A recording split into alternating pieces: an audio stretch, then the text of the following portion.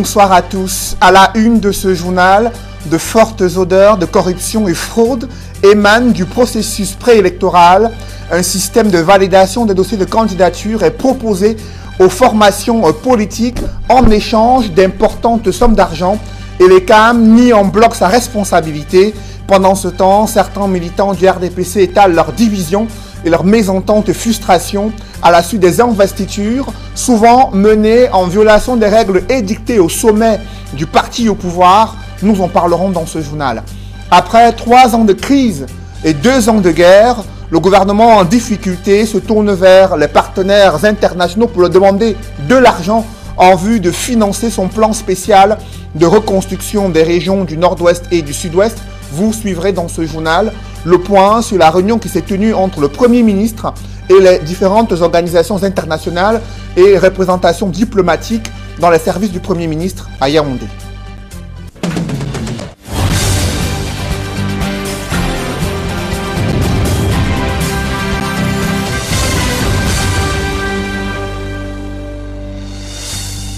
Merci de suivre cette édition complète hein, de l'information sur Equinox Télévision.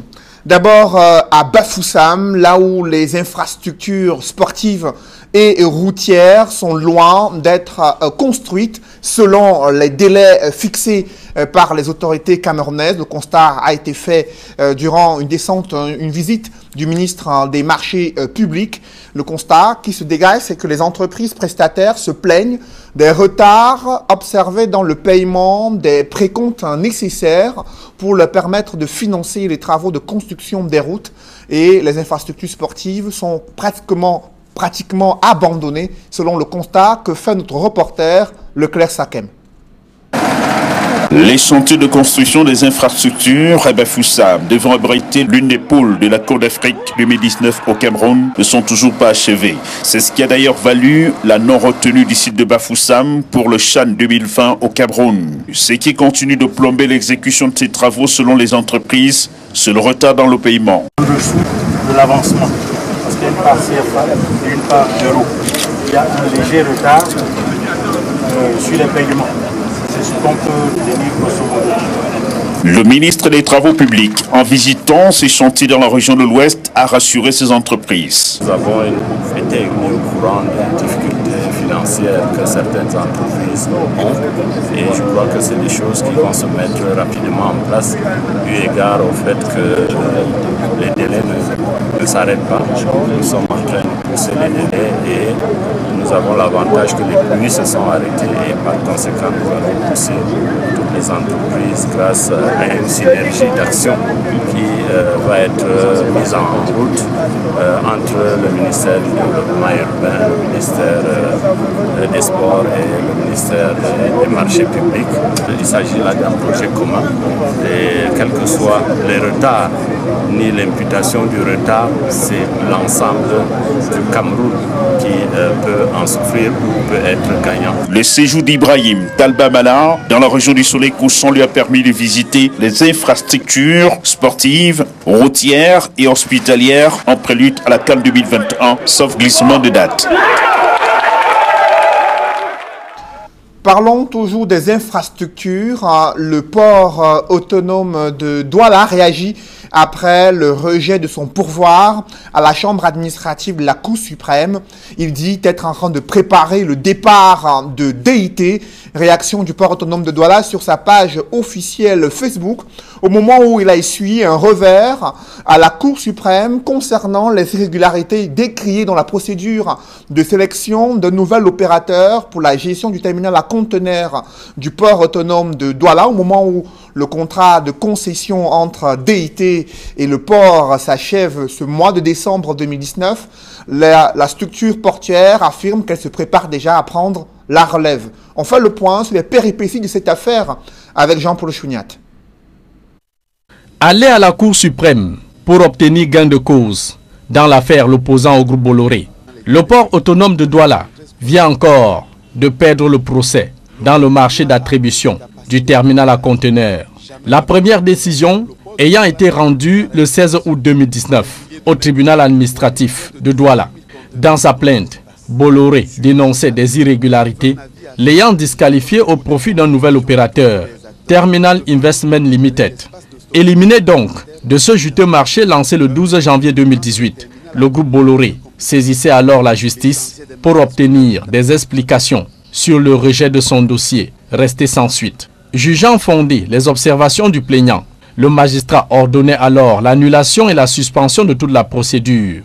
Mais le directeur général du port autonome de Douala, ne tenant qu'à en faire à sa tête, la présidence de la République s'y était mêlée. Le ministre d'État secrétaire général Ferdinand Gongo, intimant l'ordre au patron du PAD, Cyrus Ngo, d'arrêter toute la procédure d'attribution et signature du contrat au Swiss Terminal Investment Limited. Bien avant cette affaire, le groupe Bolloré, voyant son contrat tirer à sa fin, avait sollicité une rallonge de deux ans pour garder la main mise sur le terminal à conteneurs, demande qui fut rejetée par le top management du port de Douala. Une fois le contrat de Bolloré échu le 31 décembre 2019, qui gérera désormais le terminal à conteneurs de Douala.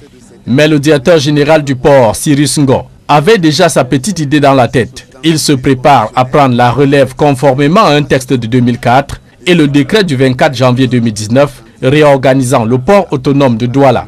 Un nouveau système d'exploitation a même déjà été mis en place, estimé à plusieurs milliards de francs CFA. Selon des experts, il faudra un minimum de six mois aux employés pour se familiariser à ce nouvel outil, de même que le personnel n'a pas encore été recruté à quelques jours de la reprise en régie de ce terminal par le port autonome de Douala. Sur sa page, l'administration de cette institution portuaire a dit se préparer sereinement à la reprise de son terminal. Le maçon sera donc jugé au pied du mur à partir du 1er janvier 2020, même si certains opérateurs de la place portuaire de Douala redoutent un désordre dans les jours à venir. Après trois ans de crise et deux ans de guerre dans les régions du nord-ouest et sud-ouest, le gouvernement est à la recherche de financements pour le plan spécial de reconstruction et de relèvement des régions anglophones. Le Premier ministre Joseph Diangouté a présidé ce jour une concertation avec une quinzaine de représentants des missions diplomatiques et organisations internationales. Il a recueilli leurs propositions pour le financement de ce plan spécial il y a un diplomate français qui a suggéré que le Cameroun utilise des fonds provenant du contrat C2D afin de pouvoir reconstruire les régions du nord-ouest et sud-ouest.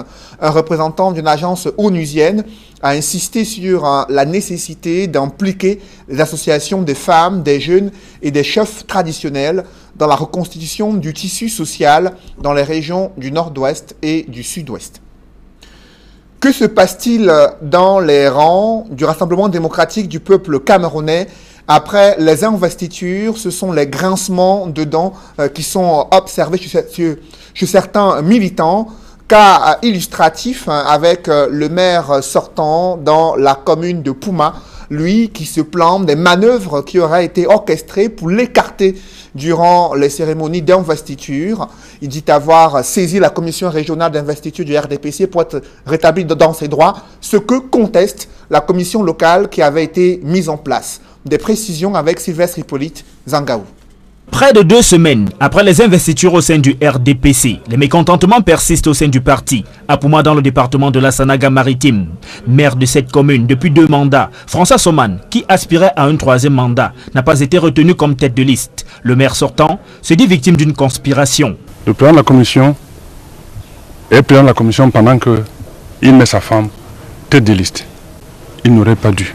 François Soman affirme ainsi que le président de la commission communale d'investiture dans l'arrondissement de Pouma n'a pas respecté les consignes de la hiérarchie du parti, choisissant d'imposer un candidat comme tête de liste. Je vous dis, quand vous êtes candidat, un membre de votre famille ne peut pas présider la commission. C'était l'une des prescriptions du parti. C'est un... Quand je vous dis son épouse vient à la télévision pour dire j'ai signé la liste, je me demande à, quel moment elle a signé, puisqu'elle n'était pas au Cameroun. C'est encore un fait. Mis hors jeu, le maire sortant de la commune de Pouma a introduit un recours auprès de la commission régionale d'investiture pour les municipales au sein du RDPC dans le littoral. De ce côté, sa requête a reçu avis favorable et son nom réintroduit dans la liste qui a été investie à Pouma, ce qui suscite depuis lors des désapprobations de certains au sein du parti qui accusent la commission régionale d'investiture de tripatouillage, ce que François Soman bat en brèche. Écrire contre quelqu'un comme ils le font. Insulter quelqu'un quand on, fait. dire que la, la maritime, tout est manipulé, je trouve qu'il faut, arrêter. Si quelqu'un devait se plaindre, c'est à moi de me plaindre. C'est moi qui ai, dans tout ça, perdu. C'est moi qui suis victime d'une conspiration, d'abord de mes frères qui se réunissent la veille et qui disent qu'il faut détruire ces messieurs-là. Le maire RDPC sortant de la commune de Pouma invite le parti à frapper du poing sur la table pour resserrer les rangs au sein des militants de cet arrondissement. Dans cette ambiance préélectorale tendue, des individus demandent de l'argent aux responsables politiques et aux candidats pour faire valider leur dossier de candidature à Elecam. Euh, informé de l'existence d'une telle démarche, le directeur général des élections condamne cette stratégie d'arnaque qui n'a aucun lien avec l'instance électorale. Dans un communiqué, Eric Essousset affirme qu'il s'agit des personnes malveillantes et appelle les partis politiques et leurs candidats à dénoncer ces arnaqueurs auprès des autorités euh, compétentes et les CAM n'est pas impliqué dans ce système de validation des dossiers de candidature après les délais fixés par la loi, a précisé le directeur général des élections dans un communiqué rendu public ce jeudi. Et toujours dans ce chapitre politique, des forces de l'ordre ont fait irruption dans un domicile pour empêcher la tenue d'une réunion des militants du mouvement pour la renaissance du Cameroun. La scène s'est déroulée ce jeudi à Ebelova, dans la région du Sud. Selon des témoins, des forces de l'ordre ont molesté certains militants de ce parti politique qui tenaient à une réunion d'explication du boycott du MRC aux échéances électorales. Selon le MRC, ces fonctionnaires de police ont déclaré qu'ils sont là pour exécuter les ordres de leur hiérarchie, selon les dernières nouvelles à Ebolova. Parlons à présent des tensions observées autour hein, du stade Olembe, non loin de Yaoundé, après des employés en colère. Ce sont les prestataires de services qui réclament au groupe Piccini le paiement de leurs droits. Ils ont fait le pied de grue à la direction générale de cette entreprise italienne afin de pouvoir rentrer en possession de leurs droits. Des précisions avec Élisée Bogba et Guy Zogo. Les péripéties autour du stade de Lembe, après la résiliation du contrat de Piccini, sont loin d'être terminées. Les propos du ministre des Sports et de l'Éducation physique au sujet de la réintégration ou non des employés chez Magil, le repreneur du chantier, retentissent encore. C'est comme pour la loterie. Si vous n'achetez pas un billet, vous ne pouvez pas espérer gagner. Donc vous allez faire les procédures, vous allez engager les procédures normales en direction des repreneurs du chantier en fonction des besoins qui seront exprimés en matière de Cette loterie semble aussi se transporter jusqu'aux prestataires locaux de ce chantier. Nous sommes venus demander à Pichini quelle est la conduite à tenir. Nous l'avons accompagné au projet pendant plus d'un an.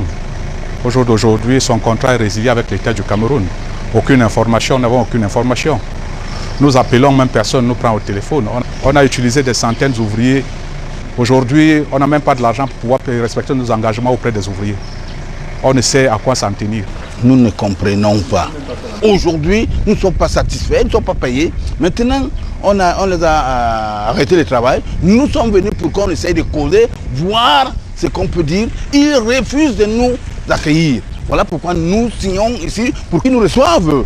Comment un, étranger vient amener le Camerounais chez lui? Hein?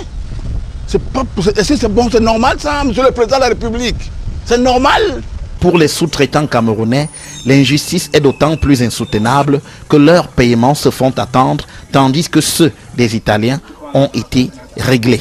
Ça fait huit mois que mes factures ont été déposées ici à Pichini. Même après le report de la Coupe d'Afrique, nous avons commencé, nous avons continué à travailler. Jusqu'au jour d'aujourd'hui, on ne nous dit rien ici. Nous sommes là depuis la semaine passée, lors de la notification d'arrêt des travaux, nous venons ici chaque jour, on ne nous dit rien, on ne veut même pas nous recevoir, on ne veut rien nous dire. On veut juste savoir ce qu'on a travaillé, où ça va? Est-ce que nous allons rentrer au village après avoir travaillé au Lembe, on rentre au village Nous avons décidé aujourd'hui de, faire entendre nos voix. Il faut que tout le Cameroun sache, et ceux qui ont pris les décisions, comme ceux qui ont, pour qui nous avons travaillé, que nous avons des familles, nous avons des familles derrière nous parce que c'est euh, Piccini a sous-traité la totalité de ce travaux. Et ils ont payé les sous-traitants italiens qui ne se plaignent de rien, alors que les Camerounais sont pris comme otages dans le conflit que Pichini a avec l'État camerounais. Désormais, les sous-traitants appellent le gouvernement à mesurer la portée de ces actes en agissant pour régler ce problème.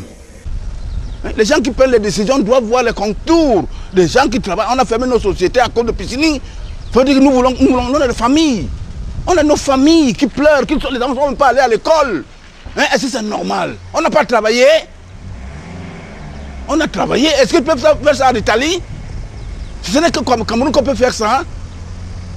Alors qu'il essaie de, monsieur le ministre a arrêté le travail, qu'il essaie de voir comment il faut qu'on nous paye. Nous, on va donner notre, notre sang, notre vie pour qu'on nous paye. Décidément, l'affaire du stade de Lembe joue les prolongations. Parlons de la nouvelle réglementation des changes hein, qui est encore un casse-tête hein, pour les opérateurs économiques engagés dans les opérations commerciales et industrielles. La banque Afriland First Bank les a réunis afin de les expliquer les procédures euh, dans la nouvelle réglementation de change pour leur permettre de gagner du temps lors de leurs opérations commerciales et industrielles. D'autres détails avec Marcelin Gansop.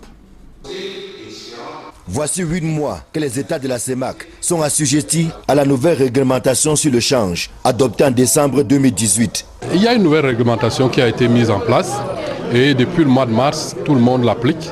Mais en termes d'échange avec les clients, on n'avait pas encore eu cet échange pour s'arrimer et pour mieux comprendre, mieux se concerter, parce qu'il y avait dans les, opérations des interprétations diverses, parce que notre clientèle ne maîtrisait pas encore cette nouvelle réglementation. C'est ce qui justifie aujourd'hui que la banque va vers sa clientèle pour sensibiliser, dire aux clients quelle est la nouvelle donne, s'assurer que les clients ont maîtrisé et que facilement nous pouvons exécuter leurs opérations. Il y avait donc un besoin d'en savoir davantage de la part de la nombreuse clientèle d'Affelan First Bank. Ce d'autant que plusieurs innovations ont été apportées, avec pour but de faciliter les transactions tant à l'intérieur que hors de la CEMAC. La nouvelle donne aujourd'hui, c'est que pour faire un transfert à l'étranger, il faut aujourd'hui, pour une partie des transferts, passer par la Banque centrale, au-delà des 30% euh, des rapatriements qui ne peuvent pas couvrir euh, les transferts que nous avons. Et donc ici, il y a un complément documentaire à faire et il y a un délai d'attente par rapport à la, précédente réglementation où on exécutait de manière instantanée dès qu'on avait les encaissements à l'extérieur euh, les opérations. Et ceci avait des délais relativement courts et à la satisfaction de la clientèle. Une clientèle qui a massivement pris part à ce séminaire d'information et d'appropriation, animé par des fins limiers du numéro 1 des établissements bancaires au Cameroun. C'est une très très belle initiative que j'inviterai d'ailleurs euh, des autres banques hein, et d'autres acteurs à suivre. Parce qu'aujourd'hui, les, les, clients sont un peu perdus dans les banques. Ils arrivent, ils ne savent même pas à qui s'adresser. Mais vous voyez qu'aujourd'hui, ils repartent euh, plus ou moins éclairés. Et surtout en ce qui concerne aujourd'hui les devises au Cameroun. L'échange s'est voulu franc et sincère entre Afriland First Bank et sa clientèle. Les questions ont fusé de partout et ont reçu des réponses appropriées. C'est un jeu qui valait la chandelle. Je crois qu'au vu de la densité des échanges, les clients sont satisfaits. On a abordé tous les domaines, que ce soit les délais d'exécution de transfert, que ce soit la levée de DI, que ce soit l'aspect appurement, que ce soit l'aspect justification de toute autre opération. Je pense que je sors d'ici avec euh, une satisfaction, que j'ai au moins donné l'information au client, que le client sait au moins aujourd'hui à quoi s'en tenir en termes de documentation pour faire son transfert, son opération à l'international et en termes de délai. Face à une forte dégradation des réserves de change de la CEMAC en 2016, les chefs d'État ont préféré un ajustement macroéconomique à celui de la monnaie. Depuis quelques mois, cet ajustement fait son chemin à Freeland First Bank avec. L'objectif est de contribuer à la valorisation du franc CFA à travers une amélioration des transactions financières extérieures, de manière à minimiser les sorties de devises non justifiées et maximiser les entrées de devises provenant d'activités légales. Parlons à présent dans ce journal du malaise des personnes en situation de handicap au moment où la communauté internationale a célébré euh, cette journée euh, réservée à ces couches sociales défavorisées. Au Cameroun, il broie du noir, notamment les handicapés euh, visuels qui peinent à pouvoir s'intégrer dans la société, trouver des emplois et même bénéficier d'un regard complaisant de la société. C'est le constat que font nos reporters Jacques Molon et Kedjara. Parlons donc de ce reportage concernant les personnes handicapées dans le département du Mungo, là où ils peinent à pouvoir bénéficier d'un regard complaisant de la société camerounaise, malgré la signature d'un décret d'application portant promotion des personnes handicapées au Cameroun. Ces couches sociales défavorisées peinent à être intégrées sur le marché de l'emploi et à être prises en compte par les pouvoirs publics. Des précisions avec Jacques Molon et Kediara. Parlons plutôt de cet autre reportage sur les handicapés à Yaoundé qui se sont réunis afin d'attirer l'attention des pouvoirs publics sur leurs conditions de vie et leurs difficultés au quotidien. Des précisions avec Gizogo. Handicap sans manche, en d'autres termes, se montrer productif malgré le handicap, c'est le credo de l'association éponyme à la faveur de la journée mondiale des personnes handicapées. Le centre social de la briqueterie à Yaoundé a accueilli une causerie éducative à cet effet. Nous voulons amener les handicapés à, être actifs, à être producteurs de revenus, à créer les, activités euh, génératrices de revenus. Cette démarche entend transcender les difficultés que rencontrent des personnes handicapées. Dans le contexte camerounais, compte tenu de tout ce que vous connaissez, ce n'est pas facile, mais nous essayons ensemble, à l'unisson, de, nous mettre ensemble pour pouvoir casser les barrières, pour pouvoir, n'est-ce pas, euh, nous imposer dans la société. Une occasion aussi pour elles de réaffirmer qu'elles ont des droits et qu'elles entendent mettre en valeur leur handicap. C'est une occasion pour nous de réaffirmer certains droits fondamentaux qui sont généralement oubliés. Euh, la, Charte des Nations Unies dit que tous les êtres humains naissent égaux en droit et en liberté et en devoir. Dans le contexte de notre société, nous avons de la peine à reconnaître cela sur le terrain. L'association voudrait qu'on fasse un entretien avec les membres sur ce que c'est qu'un handicap. Comment concevoir l'handicap?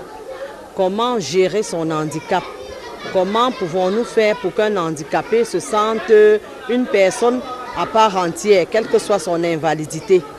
Au Cameroun, aujourd'hui, en moyenne, 5% de la population souffre d'un handicap.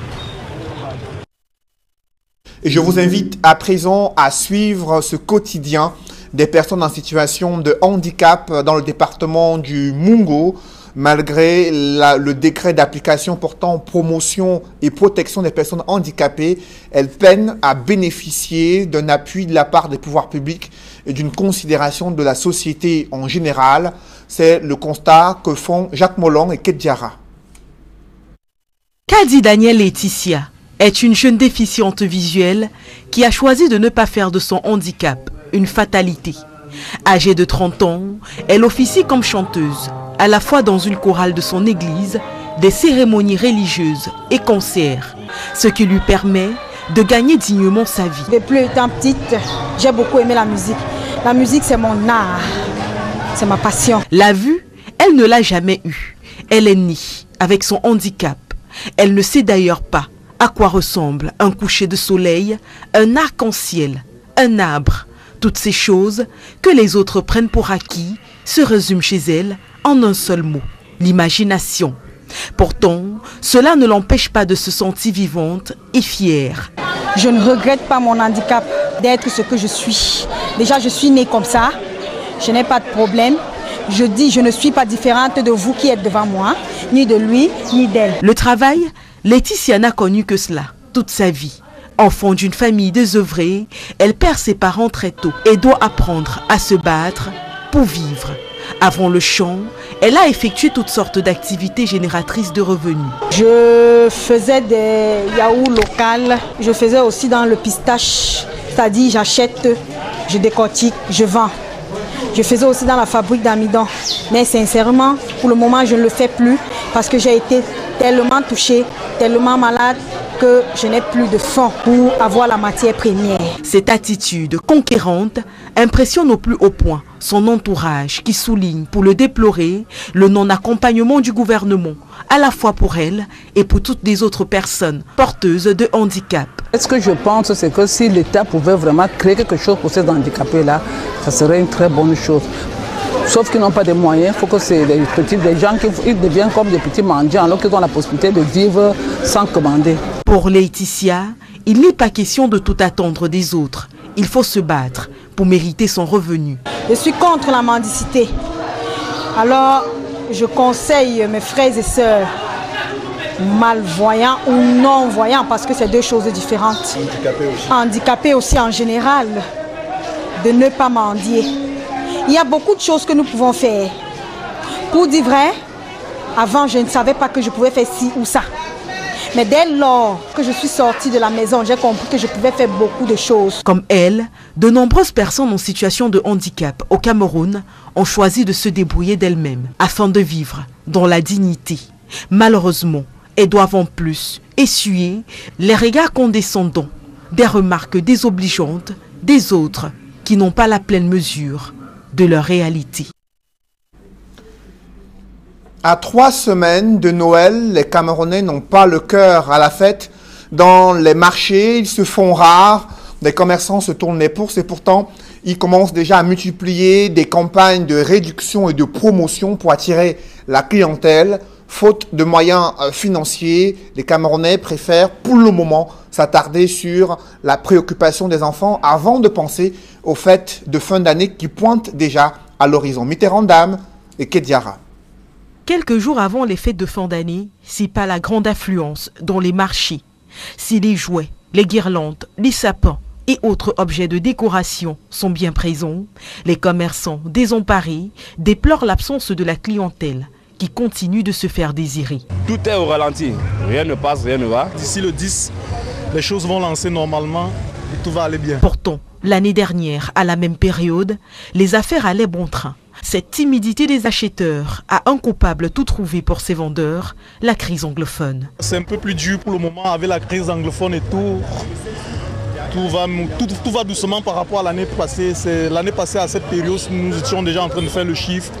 Mais cette année-ci, ça va un peu lentement. Si les choses traînent dans les marchés, dans les grandes enseignes et autres magasins, la tendance est différente. La clientèle, sélecte ou ordinaire, afflue pour le plus grand bien des gérants. Moi, j'aime beaucoup plus les décos, tout ce qui tourne autour du sapin, les bonhommes, les boules, les guirlandes et ça, je voulais renchérir. Déjà, j'ai l'habitude d'acheter les éléments ici pour enchérir mon sapin. Je pense qu'au fur et à mesure des années, on veut bien acheter les décos. Pour ses parents d'enfants ou clients de tous bords, le choix est vite fait entre les différents produits achalandis avec soin, surtout qu'aujourd'hui, les tenanciers de ces grands magasins tentent de briser le mythe du produit cher en grande surface. Désormais, ils sont accessibles à toutes les bourses. Vu de l'extérieur, on a l'impression qu'il faut être milliardaire. Ben non, vous avez des jouets de tous les prix toutes les gammes possibles. Il y a des jolis petits prix, des jolis petits décos, de moins de 1000 francs même en montant, donc pas vraiment besoin d'un, toujours d'un gros budget pour pouvoir se dénicher un beau joli petit sapin. Et pour ceux qui malgré tout ne trouvent pas leur compte, les fêtes de fin d'année sont le moment par excellence des déstockages massifs dans les magasins, avec en prime de belles promotions qui rendent tous ces produits de qualité accessibles à tous. Alors pour les jouets des enfants, les décorations et autres achats de fin d'année, il vaut mieux se dépêcher avant que les stocks n'arrivent à épuisement. Dans l'escale internationale, la montée du sentiment anti-français agace de plus en plus Emmanuel Macron. Le président euh, français exige dans un ton martial des clarifications à ses homologues africains et menace même de retirer les troupes françaises dans le cadre de l'opération de lutte contre le terrorisme au Sahel. Il annonce un sommet extraordinaire du G5 Sahel pour voir plus clair la situation sociopolitique et sécuritaire dans cette partie de l'Afrique subsaharienne. Des précisions avec Nadine Yambou. Écoutez Emmanuel Macron. Je parlais donc de ce reportage concernant euh, la montée du sentiment anti-français qui agace euh, les, euh, le président Emmanuel Macron, président de la France, qui a interpellé ses homologues africains sur ce sentiment anti-français qui menace de retirer les troupes françaises dans le cadre d'une opération de lutte contre le terrorisme dans le Sahel. Précision avec Nadine Yambou. Au sommet de l'OTAN à Londres, en Angleterre, Emmanuel Macron convoque pour le 16 décembre prochain les cinq présidents des États membres du G5 Sahel, la coalition de lutte contre le terrorisme. Ce qui aurait visiblement poussé le président français à tenir cette rencontre serait sans doute le décès de 13 soldats français au Mali le 25 novembre 2019 dans le crash de deux hélicoptères. Et depuis quelque temps déjà, les troupes françaises au Sahel sont confrontées à un rejet grandissant des habitants.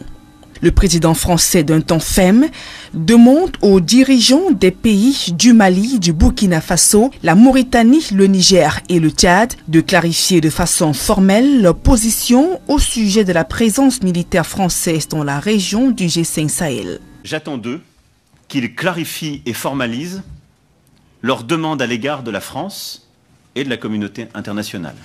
Souhaitent-ils notre présence? Ont-ils besoin de nous? Je veux des réponses claires et assumer sur ces questions. Si le président français pose les conditions sur le maintien de l'opération Barkhane au Sahel, Emmanuel Macron n'est pas passé par quatre chemins pour accuser des hommes politiques d'enfler la polémique sur le débat du sentiment anti-français qui a cours et rappeler que la France travaille pour une sécurité collective aux côtés des pays africains impliqués dans la lutte contre le terrorisme. Je ne peux ni ne veux avoir des soldats français sur quelque sol du Sahel que ce soit, alors même que l'ambiguïté persiste à l'égard de mouvements anti-français. Je souhaite que nous puissions organiser une présence internationale plus forte et structurer au Sahel une nouvelle coalition autour de nous, en lien avec nos partenaires européens déjà présents. La région du Sahel subit depuis plusieurs années les attaques à répétition des groupes djihadistes. Le conflit armé a déjà fait des milliers de morts et des centaines de déplacés. Cette attitude du président français a suscité de vives réactions en Côte d'Ivoire après l'expulsion de l'activiste Nathalie euh, Yam et euh, l'ancien président de l'Assemblée nationale ivoirienne Mamadou euh, Koulibaly croit savoir que l'expulsion de sa conseillère sera liée à l'attitude du président français Emmanuel Macron agacé par le mouvement anti-français qui prend de l'ampleur en Afrique subsaharienne. Mesdames, Messieurs, c'est la fin de ce journal. Merci de l'avoir suivi. Juste après cette édition de 20h, retrouvez Serge Alain autour et ses invités pour le débrief du journal sur le plateau d'Equinoxois. Serge Alain. Financement du plan spécial de reconstruction du nord-ouest et du sud-ouest, le gouvernement du Cameroun sollicite les partenaires étrangers le Premier ministre a organisé une concertation avec une quinzaine des représentants des diplomaties et euh, organisations internationales dans ses services à Yaoundé, selon euh, le post qu'il a fait sur son compte officiel Twitter. Cette concertation vise à recueillir des propositions concrètes pour le financement d'un plan spécial de reconstruction et de relèvement de ces régions du nord-ouest et du sud-ouest. D'aucuns ont proposé d'impliquer la société civile et les populations de ces régions en guerre depuis près de deux ans. Et la France, à travers son représentant, a également suggéré d'utiliser les fonds issus du CDD afin de faciliter la reconstruction de ces deux régions du nord-ouest et du sud-ouest. Validation des candidatures au double scrutin de février 2020. Un vent de corruption souffle. Vous avez suivi le maire sortant RDPC à Pouma, dans le département de la Sanaga-Maritime, qui a dénoncé des manœuvres visant à l'écarter alors qu'il croit être un candidat issu d'un consensus qui s'est dégagé euh, durant ces réunions euh, politiques du parti au pouvoir alors qu'il a saisi la hiérarchie pour être réintégré. D'autres euh, dénoncent des manœuvres de corruption, de forte odeur, de fraude et d'influence politique pour positionner certains affidés ou des cadres proches des personnalités qui sont à la tête du RDPC Cependant, les listes n'ont pas encore été publiées par Elecam pour savoir qui finalement a été investi par la hiérarchie du parti au pouvoir. Voilà, madame, monsieur, c'est dans l'essentiel, hein, on va le dire comme ça. Et qui nous soit deuxième partie. Bonne soirée à vous, Cédric. Bonne soirée à vous, Serge Alain. Rendez-vous demain 20h. Rendez-vous certainement lundi à 20h. Voilà. Bon, c'est Nadine qui sera là. Vous l'avez dit, c'est voilà. Nadine.